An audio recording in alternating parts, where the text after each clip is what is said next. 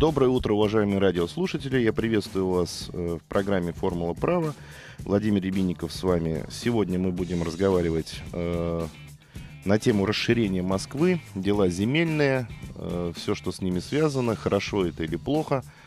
Э, Москва и государство заявило о том, что присоединенные территории затрагивают исключительно интересы 220 тысяч человек, не более. Но на самом деле все немножко сложнее, потому что абсолютно забыли про земли промышленные, земли дачные, э, про собственников, которые проживают в других регионах, в той же Москве, которые владеют определенным комплексом недвижимого имущества.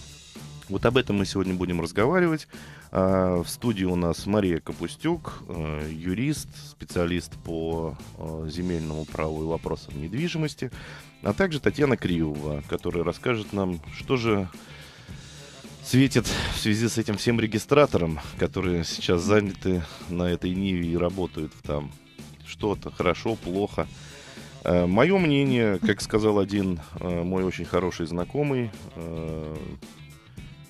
что я бежал от Москвы, а Москва меня догнала. Э, так и получилось, в принципе. Догнала Москва, что же светит. Э, милые эксперты, Мария, Татьяна, так что же все-таки теперь нам светит? Э, перед тем, как мы начнем разговаривать, я напомню нашим радиослушателям телефон прямого эфира. Это 65 10 99 и 6, код города 495. Э, пишите ваши вопросы, э, ваши мнения, ваши пожелания нам на сайт finam.fm. Итак, расширение Москвы свершилось. Что это, хорошо, плохо? Здравствуйте. Действительно, свершилось. Очень много вопросов в связи с этим возникает у тех, кто проживает на данных территориях.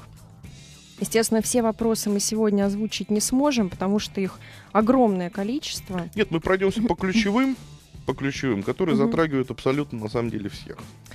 Ну, давайте, может быть, просто определим, да, определенные, может быть, границы, да, того, что мы сегодня рассмотрим, потому что э, я думаю, что с точки зрения законодательства сейчас все тоже сказать ну, невозможно, потому что я думаю, что сами власти об этом Не волнуйтесь, еще не Мария, знают. я вам помогу. так что с землей-то будет? Отберут? Ну, давайте скажем, да, следующее. У нас э, присоединение Москвы уже произошло с 1 июля 2012 года. Так. У нас территория Москвы увеличилась э, в 2,3 раза. Собственно говоря, а, произошло это увеличение за счет земель, расположенных на юго-западе а, Московской области. Ну, На- то есть самые шоколадные места. Да, шоколадные места, такие очень С точки хорошие зрения риэлторов, зоны. да. Да. Вот, собственно говоря, подошли они фактически к границе с Калужской областью. А, Собственно, а, к Москве присоединены территории, которые а, сейчас у нас будут разделены на два административных округа. Давайте мы вкратце просто Да. расскажем, а что же было присоединено. Итак, у нас пошло, что там, Рублевка, Москва? Ну, теперь да. Давайте скажем, ну, я не знаю, стоит ли говорить о тех административных э, единицах, да, территориальных, которые у нас вошли в состав. А, Наверное, все могут прочитать это и на страницах интернета, да, и так Не, далее. ну просто так вот ра- расположение. Так, юго-западное, Рублево-Архангельское, да? Юго-западное направление, западное управление, направление. Да, абсолютно верно. Одинцово вошло? Одинцово частично вошло. Давайте я просто, может быть, скажу, что у нас сейчас будет образовано а, два административных округа, Новомосковский и Троицкий, а, которые стали, соответственно, 11 дви- и 12 а, административными округами столицы. И в него вошли а, поселение Сосенское, которое входит у нас теперь в Новомосковский административный округ. Поселение Воскресенское вошло туда же. Поселение Десеновское, поселение Мосренген, поселение Московский. Ну, давайте мы не будем перечислять полностью по списку, потому что там действительно очень много муниципальных образований, которые войдут э, в состав Москвы. Э, Ленинский район целиком, походу, вошел туда, Да, правильно? Так, да. Ленинский район целиком. Что еще туда вошло? Прям по районам по старым лучше, может быть, пробежаться, потому что, ну так, перечислять сейчас все деревушки, м, как же это правильно называется, поселения городского типа, ну, у нас просто эфира не хватит. Да. Ну, сюда вошли э, городской округ Троицк, да, поселение Шаповское, Похорское, поселение Михайлово-Ярцевское, поселение Вороновское, тоже очень известные всем, а, поселение Кленовское, Роговское, Первомайское, Ново, э, Новофедоровское, поселение Киевский. А, также будет э, формироваться отдельная площадка Рублево-Архангельская, отдельная площадка Конезавод ВТБ и отдельная площадка Сколково, uh-huh. которая, собственно говоря, Рублево-Архангельская у нас войдет в состав э, муниципального округа Кунцево, так же, как и Конезавод ВТБ, а площадка Сколково войдет в муниципальный округ Можайский. Uh-huh. Вот. может быть, я э, не совсем точно назвала там, может быть, некоторые сейчас уже э, муниципальные районы, да, но тем не менее, то есть э, необходимо просто знать, действительно, может быть, кто этим вопросом еще не задавался, да, что эти районы э, вошли в состав теперь города Москвы, это влечет определенные изменения для них, достаточно серьезные. Ну, может быть, мы начнем э, действительно то, что у нас 29 э, июня 2012 года принят э, закон о внесении изменений в отдельные законодательные акты Российской Федерации, которые затронули у нас несколько таких э, серьезных законов, в частности, закон о налогах на имущество физических лиц, основы законодательства Российской Федерации о нотариате, о государственной регистрации прав на недвижимое имущество и сделок с ним. Мария, об... Мария, да, землю да. отберут? Я вам на этот вопрос ответить не могу. Тогда, но... я, тогда я отвечу. Хорошо, тогда я отвечу. Я возьму ответственность на себя. Да. Э, процедура изъятия земель для государственных нужд упростилась, не упростилась? Вы знаете, она осталась э, такой же. Она четко прописана. Такой же простой. Такой же, такой же запутанный, я бы сказала. Вот, поэтому здесь э, говорить исключительно о том, что она там упростилась или усложнилась, нельзя а, так как а, везде говорят о том, что у нас есть определенные гарантии того, что будут а, права собственников сохраняться и как они будут гарантироваться. Но а, скажу вам так, каждый раз этот случай будет э, изъятие, если он будет иметь место быть, он будет индивидуальный. И Сложно сказать вообще, как, как это будет происходить и как э, в каждом конкретном случае собственник будет охранять свои права э, по отношению к государственным органам. Естественно, им понадобятся и юристы, и профессиональная юридическая помощь, и помощь оценщиков. Мария, не стесняйтесь, мы-то да. с вами юристы, мы прекрасно все понимаем. То есть да. не, не, не надо обходить э, острые углы. Э, то есть я, я на самом деле не боюсь сказать своими словами. То есть процедура изъятия земель для государственных нужд настолько проста и настолько изложена в сторону государства, что на самом деле, если государство пожелало изъять эти земли, то это делается по щелчку пальца. А тот, у кого изъяли эти земли за бесценок, будет оббивать пороги судов наших беспристрастных угу. и правды не найдет.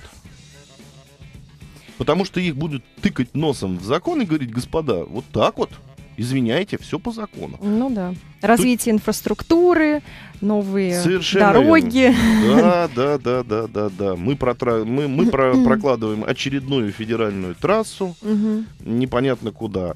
Сейчас э, вот объявили, точнее я слышал, объявили мораторий. Мораторий на что, почему и зачем? Мораторий. Громко сказано, конечно, мораторий. Ну, я, да, я, я просто потом, вот в следующей mm. части мы еще поговорим э, о гарантиях, которые были озвучены, гарантиях населению, да, то есть мы mm-hmm. говорим о вот этих 220 э, тысячах.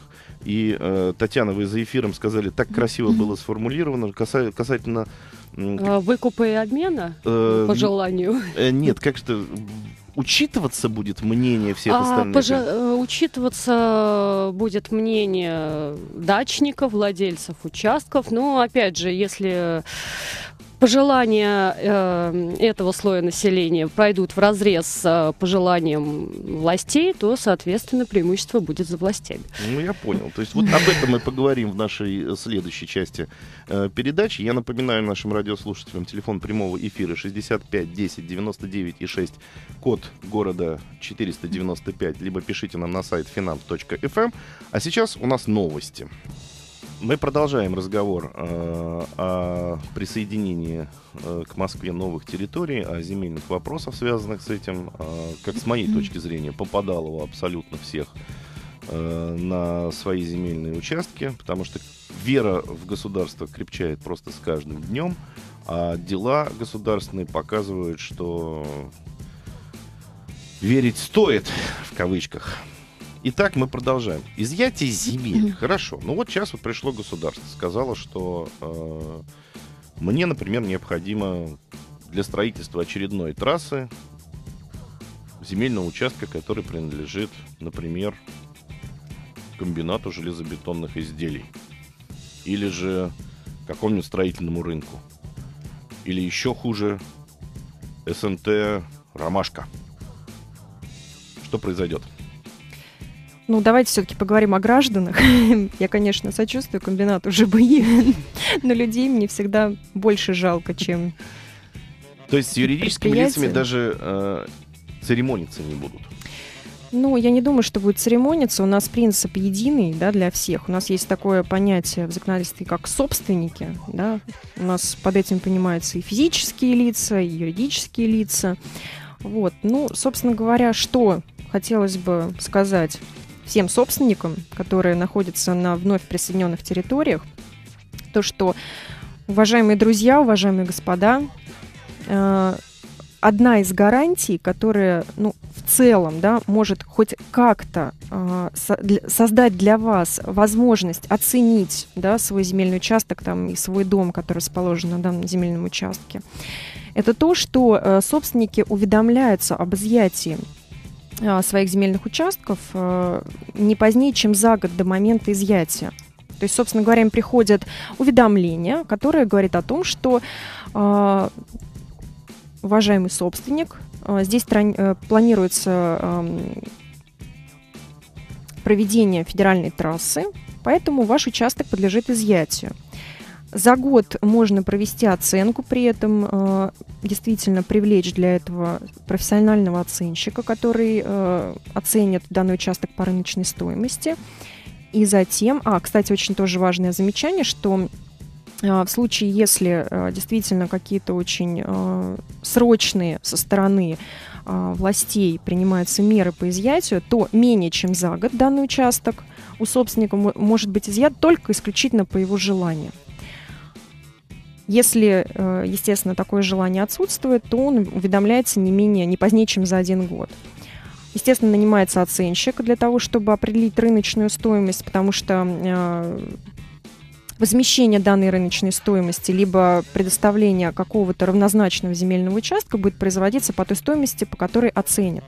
Естественно, если вы предоставляете свою оценку, а власти предоставляет свою, естественно, это предмет для спора, безусловно. Угу. Да? То есть, по крайней мере, это закорючкой можно будет потом Конечно, зацепиться. конечно. Я как юрист считаю, что это, собственно говоря, и будет всегда определенного рода гарантией, и, может быть, там камнем преткновения для государственных органов, да, там органов местного самоуправления, ну, для того, чтобы каким-то образом там свои права собственнику защитить. То есть, уважаемые радиослушатели, э, пожалуйста, уже сейчас необходимо озаботиться о том, что как вы будете доказывать государству стоимость ваших земельных участок, участков. Соответственно, ваши постройки, э, независимо, дача это или это комбинат ЖБИ, необходимо уже сейчас оценивать. Желательно, чтобы это все было в БТИ зарегистрировано, ну или, по крайней мере, вот планы БТИ существовали.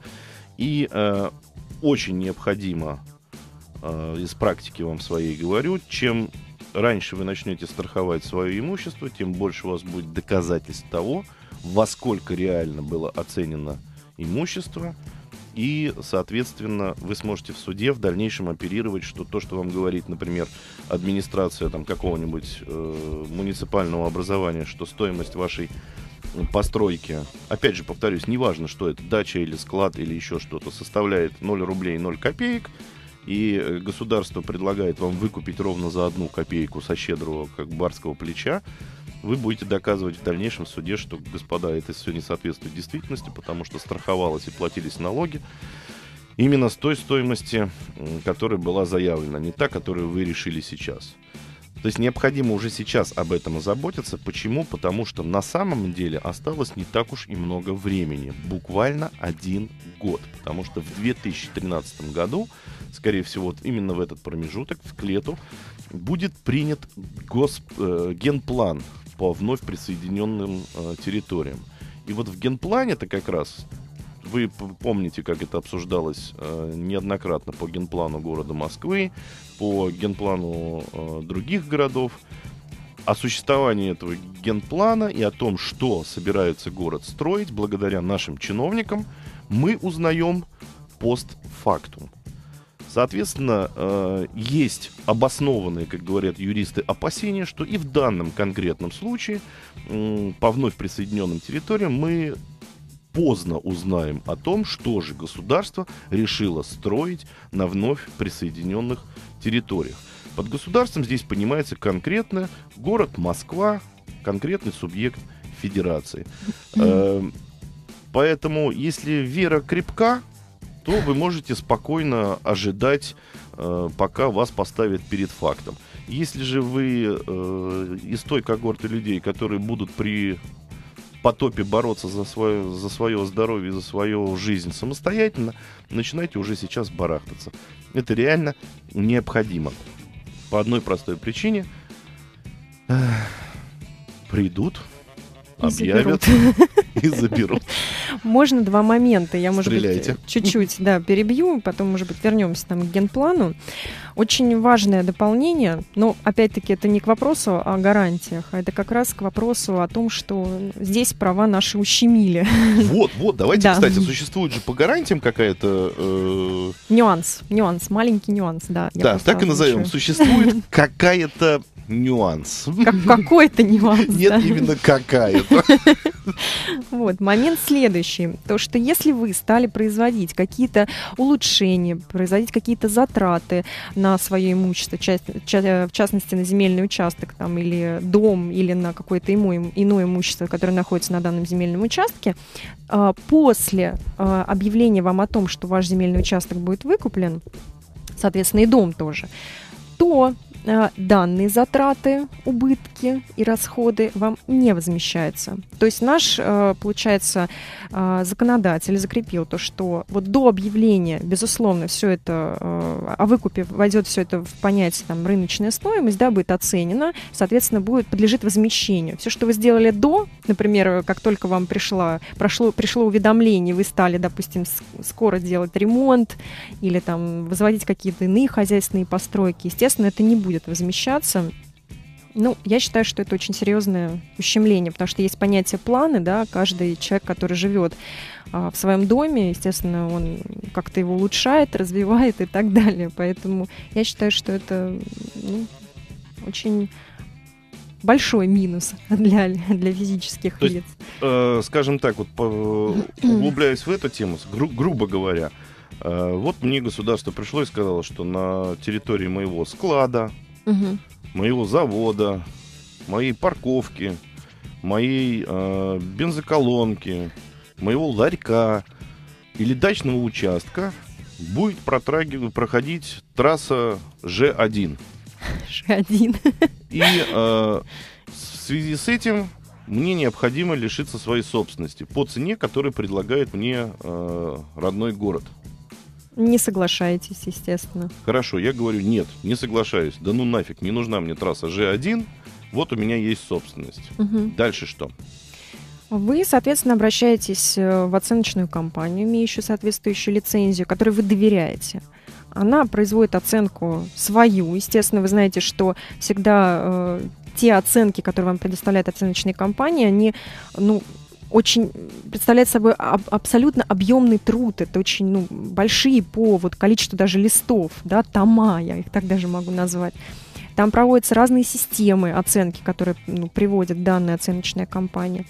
А, поэтому это совершенно не голословное да, заявление о том, что я считаю, что это стоит столько, а там собственник считает, что это стоит там, абсолютно по-другому. Естественно, это и будет предметом рассмотрения в судебном порядке, почему, допустим, органы государственной власти или органы местного самоуправления предлагают одну цену, а собственник на основании, опять-таки, там, совершенно компетентного заключения э, оценщика предлагает совершенно другую стоимость. Поэтому я считаю, что за свои права нужно бороться. И, Нет, естественно... ну круто, хорошо. Государство пришло и сказало, вот хочу. Я говорю, не хочу. Дальше что? Суд, Суд. да. А, на госнужды. В генплане написано, что надо изъять. Ну, в первую очередь они в суд обратятся Так. на вас. Ну, а там дальше уже про- по решению суда. Ну, усмотрение Как суда есть такое. многозначительно, Татьяна, вы это сказали. Я понимаю, что пытаетесь вы сохранить политкорректность, но на самом деле действительно трасса Ж1 будет проложена, и, соответственно, суд, скорее всего, примет в сторону э, города Москвы. Правильно?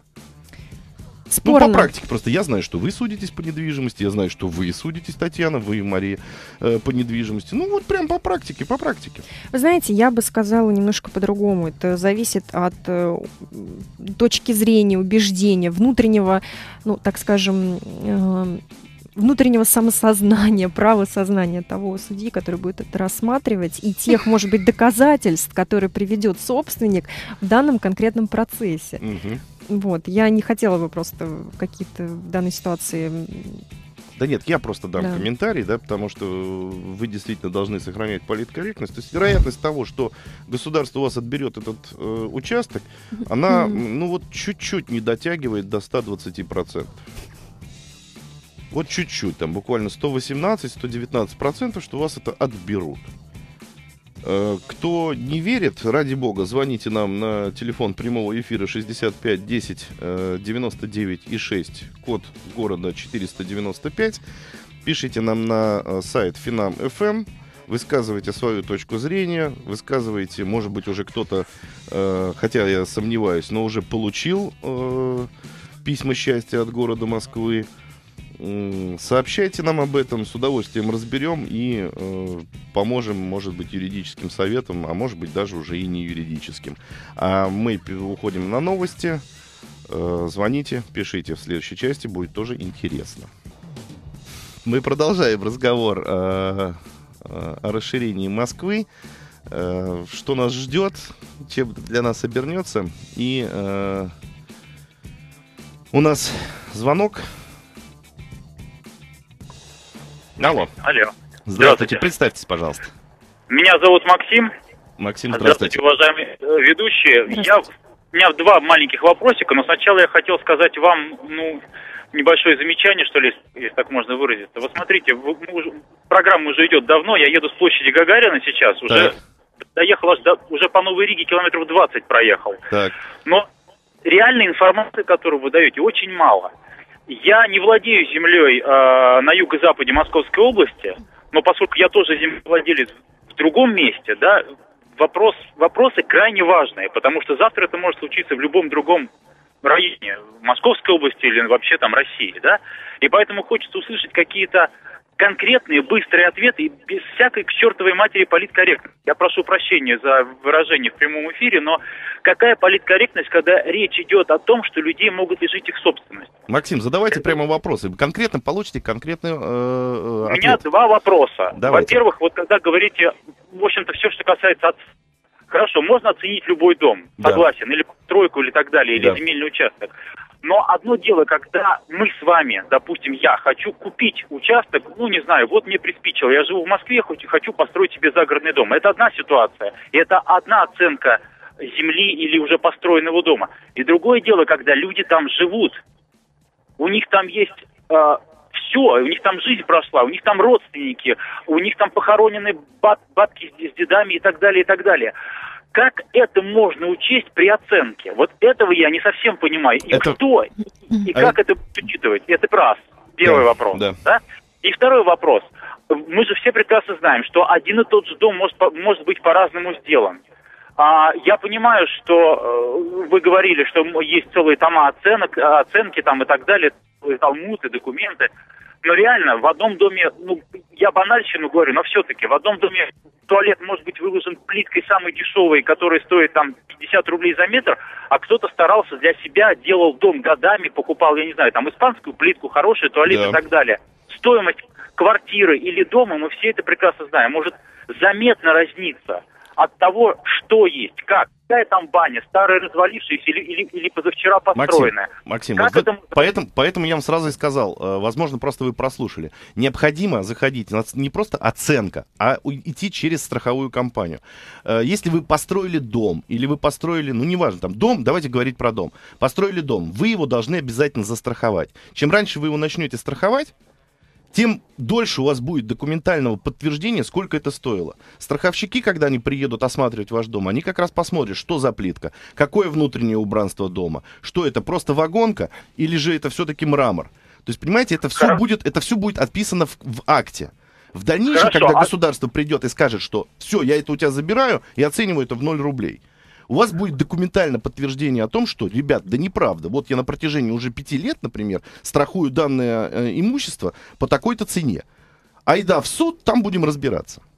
Ну, мы же понимаем, что страховая компания, ни одна страховая компания не может учесть все вплоть до электрочайника. Это смешно. Нет, неправда. Ведь Подождите, Максим, старая- неправда ваша. Абсолютно неправда ваша. Я чуть-чуть по-другому скажу, чуть-чуть по-другому. Старую пословицу, по- знаете, да, русскую? Два переезда равны одному пожару. Совершенно верно, есть такое. Вы же понимаете, что это, это просто невозможно все учесть и А- так далее. А потом объясните, как можно застраховать могилу матери? Нет, ну могил, могилу, конечно же, вы не, зас- не застрахуете. Точно так же, как и память. учили. Точно так же, как и чувство. То Как что- и память. Да. Да, и если люди выросли в этом, в этом районе всю жизнь, а им, допустим, предлагают участок, или они вынуждены участок, я не знаю, там, в Талдомском районе или, или, или под Дубной где-нибудь, с какого перепуга они должны переезжать на 100-150 километров? Вот это как оценить? Спасибо. Спасибо. Извините за... Ничего, ничего страшного, но... э, резко. наоборот. Слушай, надо поживее и поактивнее. Какая может быть политкорректность? Спасибо. Хорошо. Учтем, спасибо вам. Вот, видите как? То есть надо поживее и поактивней. Это больше к вам, а не ко мне. Вот так вот я Учтем. элек- эле- э, элегантно спрыгну. Э, Смотрите, да, то есть как бы изначально и пере- э, перед эфиром мы хотели, вот вы, вы говорили мне про, про законы, про то, про все. Вот реально, радиослушатели вот интересует. Вот человек собирается покупать дом, что делать? То есть вот как, как, как противостоять? Никак получается. Ну, э, здесь вопрос даже не, поли- не, не о политкорректности. Да черт с ни ним с политкорректностью. Да. Давайте сразу перейдем к гарантиям. Гарантии, вот приди- э, наше, наше государство как что-то заявило про э, какие-то гарантии э, жителям, которые присоединяются к Москве.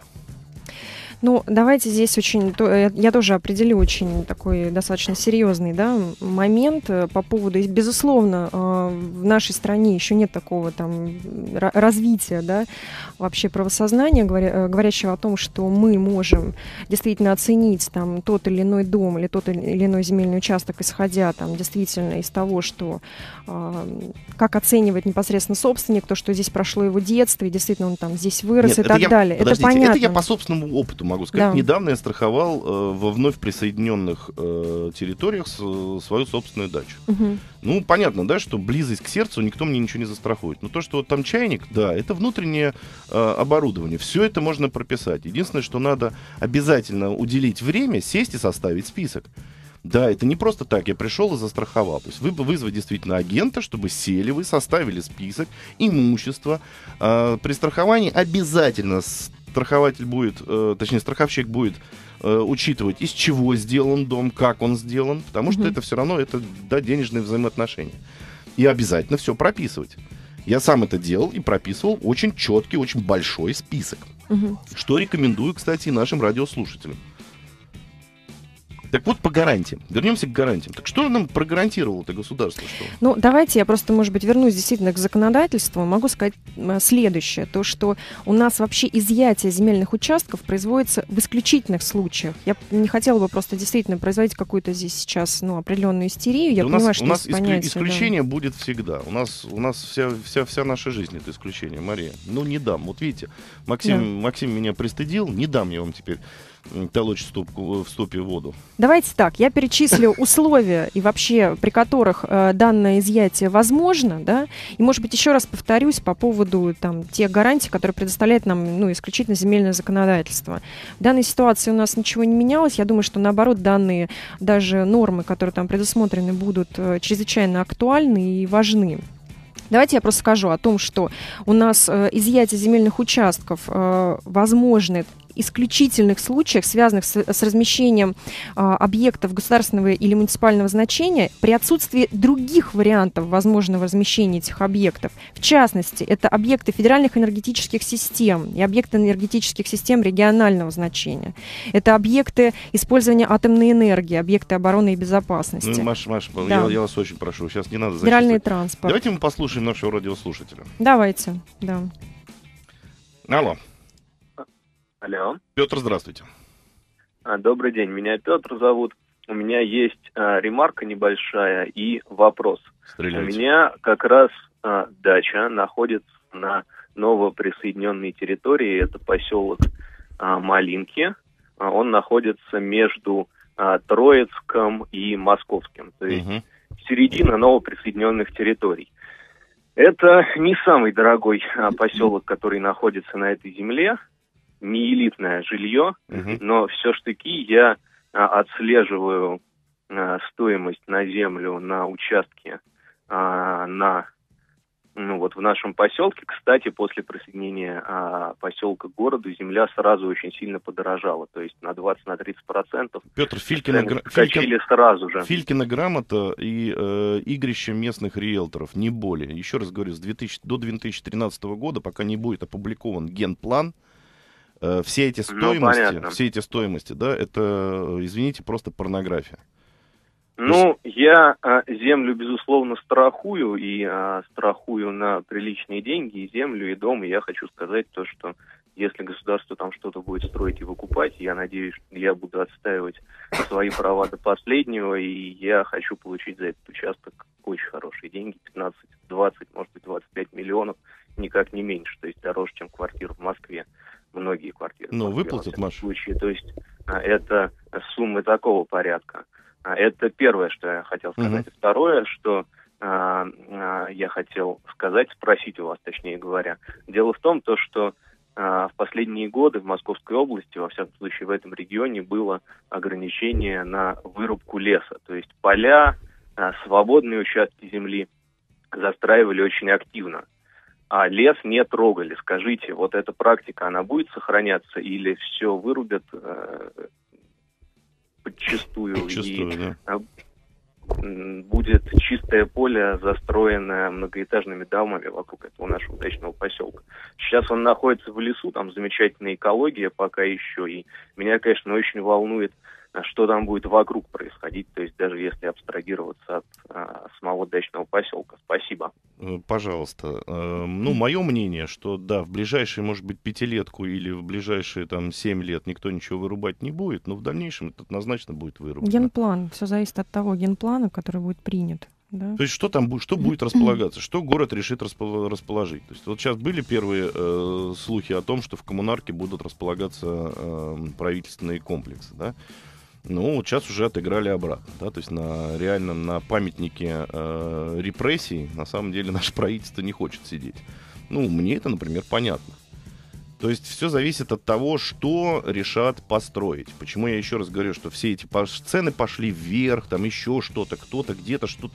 Это не более чем спекуляции, потому что до 2013 года, где-то до лета ориентировочно, никто вам не сможет сказать, что будет построено на данных территориях и где это будет построено. Если решат построить э, на вашей территории э, второй лосиный остров, вам повезло. Если решат э, построить э, каток, вам не повезло. Или какой-нибудь там спортивный комплекс, Комплекс. Л- Лужники 2, Мгм. то тогда не повезло. И будет разговор достаточно серьезный и достаточно скоротечный. Но это вот моя практика. Понятно, что мы все дружно верим в будущее, в светлое, но на самом деле практика показывает, что никакого светлого будущего не будет по любасу. Так вот, возвращаясь вот вкратце, у нас еще буквально до новостей минутка осталась. Э, возвращаясь к гарантии, какие гарантии сейчас предоставляет государство? Потому что говорили, что э, вот, лес не будут трогать, говорили, что населенные пункты, как они существуют, они уйдут в муниципальное образование. Абсолютно верно, да. Но все, кто ездил, например, по старой э, Калужке, по старой тр- трассе Калужской, ну, там, там видят, да, что, например, дома с деревень стоят настолько плотно к, к дороге, что расширить ее практически невозможно. А собираются. а собираются. То есть, соответственно, будут э, выселять. И, кстати, если вы обратите внимание, ездите по этой трассе, посмотрите, как много появилось э, на заборах объявлений, что продаю участок. То же самое, да, на самом деле, учитывая, что такие изменения произошли и новые, э, э, скажем так, новые земли вот эти присоединились, блин, ну не стал бы я, конечно, покупать эти участки. Потому что, скорее всего, их при расширении дороги выселят неизвестно куда. Ну, я могу сказать, что все будет зависеть от того генплана, да, который будет принят, соответственно, у нас по градостроительному законодательству. Э, генплан утверждается при учете мнения э, населения да, после публичных слушаний с учетом их результата. Вот. Но э, сейчас говорить о том, что ну, 100% там, да, что-то не будут вырубать, либо что-то будут вырубать, тоже нельзя. Здесь скорее действительно нужно опираться на нормы э, земельного законодательства, говорящего о том, что гарантия такая. Вам возмещается стоимость, э, рыночная стоимость, и это закреплено законодательством. Не просто там стоимость БТИ, да, или там кадастровая стоимость все-таки, э, которая будет э, там, оценена и предоставлена, либо э, предоставление равноценного земельного участка, давайте, равноценного давайте мы, имущества. Давайте мы вот это перенесем уже на следующую угу. часть нашей программы. У нас новости. Мы продолжаем э, разговор о вновь присоединенных э, территориях. Я не знаю, почему наши замечательные эксперты стесняются, потому что в перерывах э, на рекламу идут жуткие обсуждения дикие. Так вот, Мария, да. есть гарантии или нету их? Ну, я считаю, что есть. А я считаю, что нет. Ну вот у меня немножко другое мнение. Хорошо, какие гарантии? Ну, э, давайте я просто немножко посвящу наших слушателей вообще в особенности процесса. Подождите, вообще, как, а да. вот это мы сейчас сделаем сразу после того, как поговорим с нашим радиослушателем. Да, хорошо. Я еще не ответила на то. Алло, здравствуйте. Здравствуйте. Андрей. Да, да, меня зовут Андрей, доброе утро. Доброе. Э, у меня вопрос. Э, я прошлым летом приобрел участок недалеко от Троицка. Там схема с арендой на 49 лет, разрешение на малоэтажное строительство, вот строю дом. Но как объявили, что теперь это будет Москва, еще в прошлом году приостановили оформление этих земель в собственность. Вот. Хотя есть закон, по которому когда определен порядок оформления земель из аренды в собственность, там есть ставка понятная, но почему-то оформление приостановили, и до сих пор, насколько я знаю, ничего не оформляют. Вот вопрос, это вообще э, что происходит, и э, что будет дальше с этим законом? Спасибо. Мария, Татьяна, что происходит? Ну, это вполне закономерно, вообще, в моем понимании потому что э, в данной ситуации, вот как э, я себе да, представляю, э, сейчас приостановили оформление именно по причине того, что непонятно, что где будет располагаться, где будут там, выделяться земельные участки, где будут прокладываться дороги и все остальное. Объяснить, почему это происходит, я не могу, потому что если у вас уже ведется строительство, если вам предоставлен земельный участок по договору аренды, то, безусловно, строительство должно быть завершено, потому что если, естественно, да, все было предоставлено за законно, да, и все права были оформлены э, законно, и на данном участке разрешено строительство, то, безусловно, по окончании его вы имеете право оформить данный земельный участок в собственность по 36 статье Земельного кодекса. Поэтому почему сказать, это я вот ответить на этот вопрос сейчас не могу. А я отвечу, Андрей. Пожалуйста. А потому что в городе Подольске прокуратура изъяла компьютеры, э, навела шорох, потому что в Подольске граждане из администрации начали распоряжаться земельными участками, которые теперь принадлежат городу Москве. И только город Москва может теперь распоряжаться этой землей. Можно выразить третью точку зрения? Нужно, Татьяна. Наконец-то наши радиослушатели услышали ваш замечательный голос. А, дело в том, что если раньше правообладателем вашего участка была Московская область, сейчас правообладателем вашего участка становится город Москва. И поскольку у вас, соответственно, договор аренды, э, арендодатель у вас вполне в законном порядке просто меняется. Смена арендодателя у нас не влечет за собой расторжение договоров аренды, а то, что у вас приостановлены документы на оформление собственности, простая бюрократическая процедура. Так что, я думаю, паниковать рано. А можно вернуться к тому вопросу, который задали до этого, да, в отношении оценки? Давайте. Ну, а, опять-таки выражу такую точку зрения, то что э, я считаю, что гарантии есть, потому что если есть хотя бы один шанс вообще идти по нормам закона, то этот шанс всегда есть, и вы можете его использовать. А, у нас не одна инстанция, да, у нас все-таки есть вышестоящие инстанции, в которых можно оспорить то решение суда, с которым вы не согласны. Поэтому даже если вы предоставляете свою оценку, которая вас, э, которая вас вполне устраивает, и она составляет, допустим, 25 миллионов, вам предоставляет совершенно другую оценку э, органы государственной власти там, или органы местного самоуправления, которые э, хотят изъять ваш земельный участок, то, естественно, в суде может быть осуществлена судебная оценка, да, естественно, как бы будет принята там ну, та или иная сторона, либо та оценка, которая была произведена в судебном порядке. Поэтому такой шанс есть. Вы понимаете, если бы у нас в законе либо вообще бы не был прописан прописано положение о том, что это рыночная стоимость, а, например, была бы закреплена там кадастровая стоимость БТИ, да, я бы сказала бы, что это действительно пожар, потоп и так далее. Поэтому я считаю, что э, защищать свои права и бороться можно и нужно, да. Э, здесь вопрос, э, конечно, времени, нервов, там, да, и так далее, потери там того участка, с которым связана у вас память, там ваше детство, там и ну какие-то иные моменты. Здесь э, процедура предоставление другого равноценного участка, она достаточно туманна и сложна. Допустим, есть люди, которые говорят, я не хочу деньги, предоставьте мне точно такой же участок. Вот здесь могут начаться уже еще большие сложности, чем просто даже с выкупом. Потому что процедуры предоставления равноценного участка, они нигде не прописаны, и действительно каждый раз это будет абсолютно индивидуальная процедура. Это вам будут э, какое-то определенное количество участков показывать, будет привлекаться, вероятно, да, риэлторская какая-то там компания, оказывающая профессиональные услуги на рынке недвижимости. Поэтому э, Здесь момент тоже достаточно сложный, но тем не менее у вас всегда есть право отказаться, потому что это неотъемлемое право, оно в законодательстве закреплено.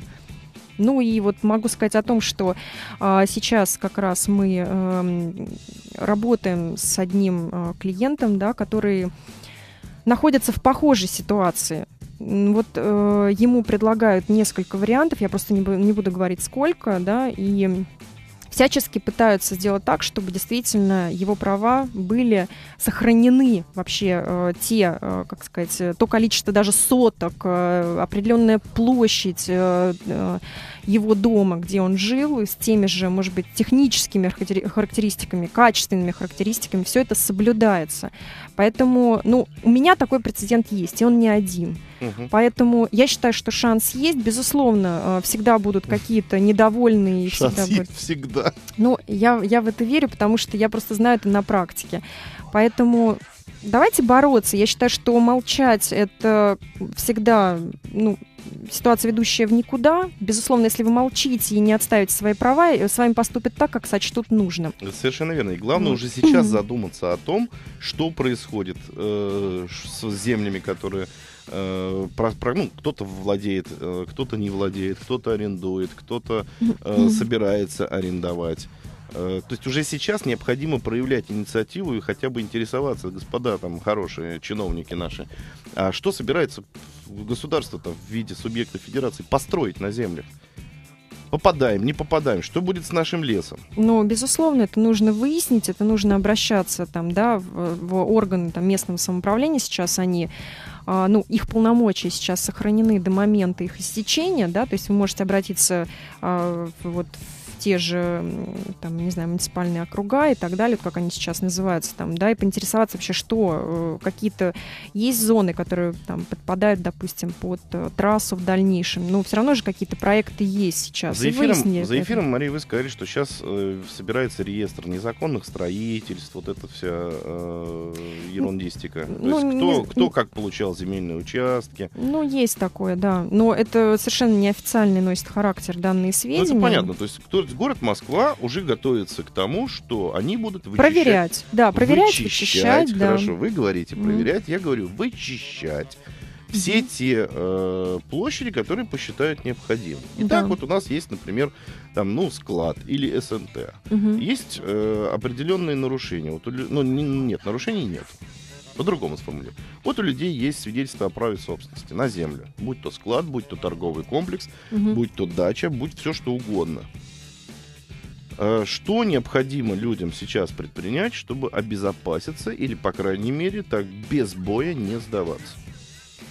А, здесь очень важно будет действительно ознакомиться, во-первых, с этими документами, да, потому что если под ними земельный участок в собственности, да, то это одна ситуация, да, я могу сказать о том, что, ну, 50% успеха. Угу. Если она не в собственности... Уважаемые радиослушатели, просто заметьте, да, эксперт говорит, что если у вас есть свидетельство на право собственности, Безусловно. то это уже 50%, 50%. успеха. И большой процент. Однозначно. Что... В нашем государстве, имея собственность и иметь 50% гарантии успеха, это очень большой успех. Ну, позвольте, если у нас оспаривается вообще э, по прошествии многих-многих лет, лет законность выделения того или иного земельного участка, на который уже получено свидетельство, свидетельства, то э, я большего процента просто даже ну, дать не могу в данной ситуации.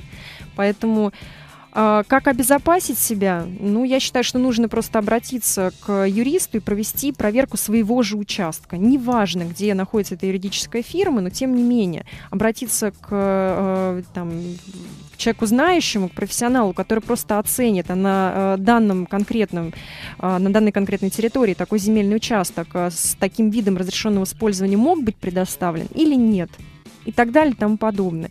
Ну, вот могу сказать только вот в рамках именно законодательства. Я не беру какие-то иные моменты, да, как можно будет решить этот вопрос, не уполномоченный и не могу. Поэтому... Сейчас хочу еще как бы, да. Э, огорчить наших радиослушателей. Mm. Недавно услышал э, распространенное такое заблуждение, что с 1 июля автоматически все земли, которые были присоединены к Москве, стали землями поселения.